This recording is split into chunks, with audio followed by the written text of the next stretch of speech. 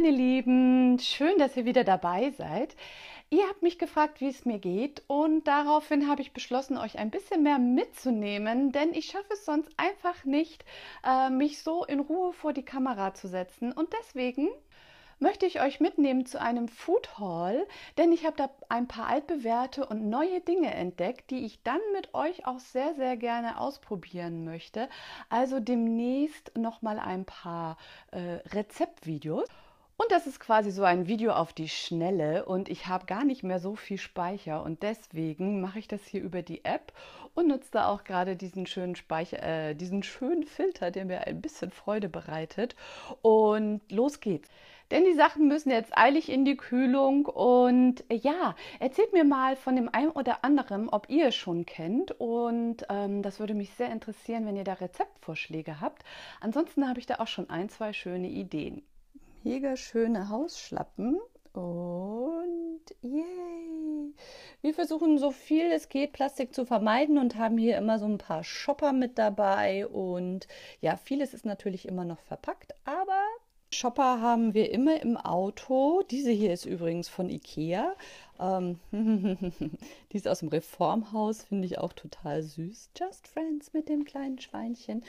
Und in diese passen super gut so ähm, drei, drei Sixpacks von so kleinen Wassern. Das ähm, ja, ist genau die richtige Menge dafür. Aber jetzt äh, müssen wir mal schnell die Sachen rausholen. Und ich switch jetzt mal zur anderen Kamera und hoffe, dass ich da noch genügend Platz drin habe. Hier im Übrigen schon rausgeholt aus einer anderen Tasche Flasche habe ich die geröstete Mandel ungesüßt von Alpro. Die finde ich richtig gut. Dann den veganen Haferdrink Natur. Ich meine, der ist auch fast ungesüßt. Und neu bei DM entdeckt, das Kokoswasser Natur, was mir ganz gut schmeckt. Ähm, jetzt auch als 75 Milliliter. Juhu! Natürlich 750 Milliliter oder 0,75 Liter. Also fast ein Liter. Und ähm, ja, weil ich mindestens äh, ein bis zwei Gläser Kokoswasser am Tag trinke, um mich äh, selbst zu befeuchten ähm, also um das, äh, was ich anderen immer predige, selbst zu befolgen, war eigentlich der Gedanke dahinter.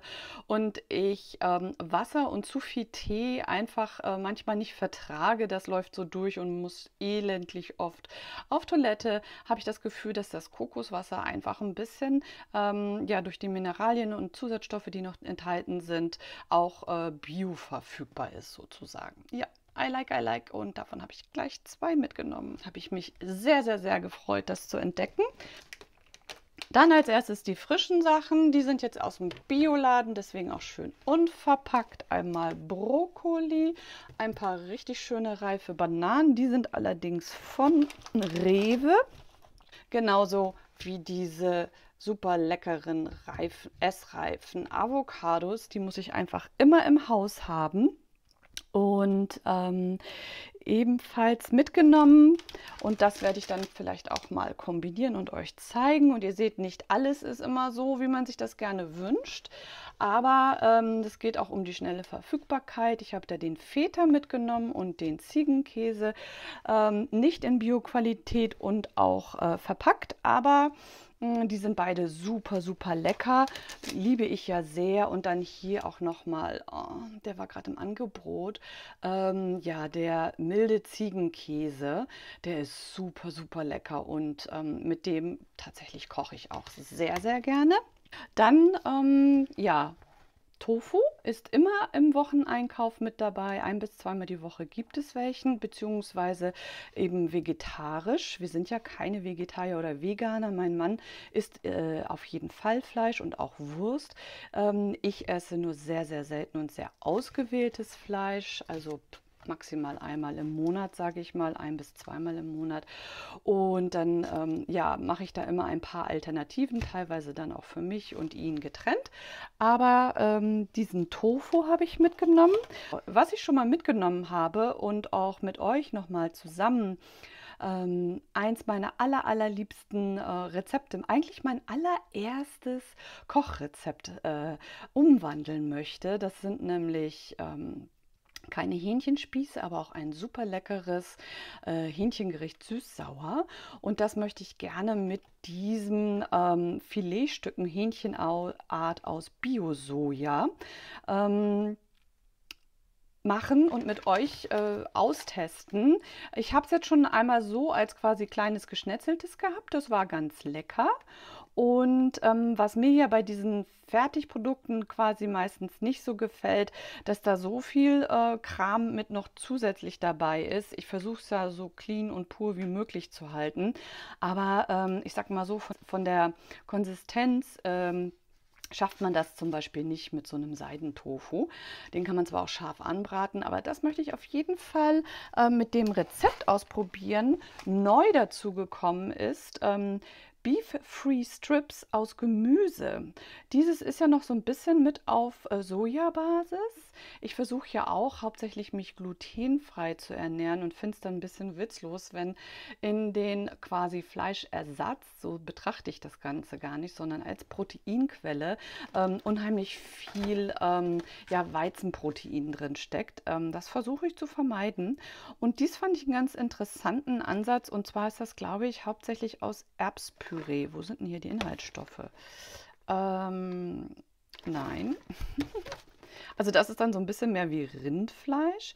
Genau, Erbsen, Möhren, Zwiebel, Trinkwasser, Erbsenprotein und so weiter. Sieht doch ganz gut aus. Und Koriander und Ingwer, hm, das kann ich dann wieder nur alleine testen, weil mein Mann kein Ingwer verträgt. Aber das finde ich sieht richtig, richtig gut aus. Und damit würde ich gerne mein zweites Lieblingsgericht ausprobieren, das ich tatsächlich als zweites ähm, ja schon in jungen Jahren gelernt habe zu kochen, auch ein asiatisches, ein etwas schärferes asiatisches Gericht.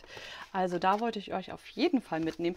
Und wer die beiden schon mal äh, ausprobiert hat, ähm, ja, der schreibt mir das bitte unten unbedingt in die Kommentare und was eure Lieblingsrezepte damit sind. Würde mich sehr, sehr freuen. Und ich habe schon viel ähm, davon gehört. Ist jetzt sehr nass geworden hier im Karton. Ähm, ja, Jackfrucht, Jacks Fruchtfleischwürfel.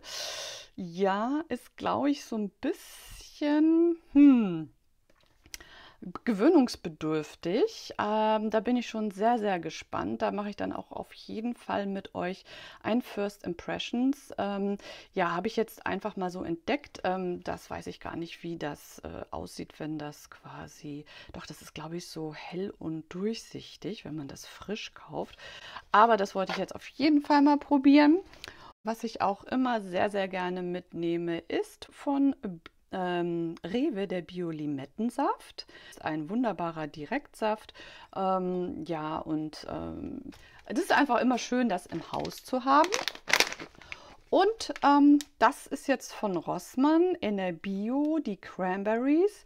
Ähm, ich liebe Cranberries, mache die in quasi auch sehr viele Hauptgerichte rein, ins Couscous zum Beispiel. Und diese sind nur mit Apfelsaftkonzentrat gesüßt. Findet man auch nicht überall. Es gibt noch welche mit Ananassaft gesüßt. Sonst sind Cranberries, weil sie ja von Haus aus sehr ähm, sauer sind oder säuerlich, ähm, leider oft sehr, sehr stark mit Zucker versetzt. Das ist so ein halber Fehl, die habe ich schon öfters gekauft von Vegan Leben. Finde ich sehr, sehr lustig, vegane Blaubeeren. Mhm. Ich habe bisher noch keine Blaubeertiere entdeckt. Meines Erachtens sind Blaubeeren immer vegan. Aber na gut. Ähm, ja, und leider sind die auch ähm, mit Zucker. Das habe ich erst später entdeckt. Aber ähm, ich habe da schon eine gute Alternative gefunden. Keine Blaubeeren, sondern Aronia-Beeren aus dem Reformhaus. Aber hiervon habe ich jetzt ähm, noch ein Backup und die werde ich auf jeden Fall aus, aufbrauchen und die sind auch mega, mega lecker. Also ja, also probiert die sehr, sehr gerne einmal aus. Und ich habe euch ja schon öfter die ähm, vegane, äh, ähm, auch von vegan Leben, die Golden Latte gezeigt. Das ist eben einfach ein Kurkuma, Kokos und Ingwer-Getränk, das man sich auch ähm, selbst zusammenmischen kann. Ich habe hier zum Beispiel Ingwerpulver und auch Kurkuma abgefüllt in Bio-Qualität. Das habe ich mir mit einer Freundin geteilt und äh, kann das dann selbst zusammenstellen. Aber ich finde es immer ganz praktisch. Ich habe das auch schon ein paar Mal verschenkt und ähm, ja, mix mir das dann immer mit der Mandel oder mit der Mandel oder Hafermilch an und ähm, ja, ein absoluter Immunbooster. Und ich wollte auf jeden Fall noch mal ausprobieren ähm, die Acai-Beeren. Die haben ja auch einen sehr sehr hohen ähm, Vitamin C und Antioxidantiengehalt und Traubenkernmehl sogar noch dabei, Hagebutte und Acerola-Kirsche ist, glaube ich, eins der höchsten Vitamin C-Gehalte.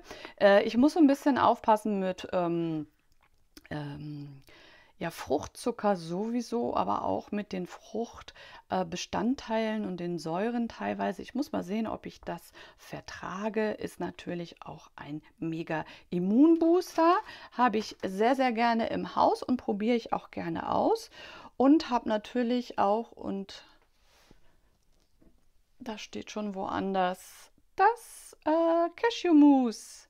Und zwar da nehme ich immer das auch total pure, also das ungesüßte und das einfach nur Cashewnüsse enthält. Wird leider auch immer teurer, schon ähnlich wie das Mandelmus, aber ähm, selber machen ist auch gar nicht mal ähm, so schwer, aber ähm, auch gar nicht mal so viel günstiger, wenn man dann die Nüsse auch wieder in Bioqualität kauft. Ja, und das war mein kleiner feiner Haul, mein kleiner feiner Einkauf. Ich hoffe, ihr hattet Freude und ähm, ja, ich bin schon gespannt von euch zu hören, was davon äh, auch in eurer Einkaufshütte landet oder demnächst ihr mal ausprobieren wollt.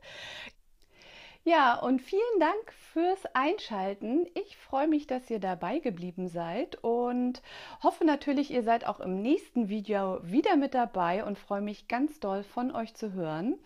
Ich hoffe, es geht euch gut. Passt auf euch auf und alles, alles Liebe, eure Betty. Bye!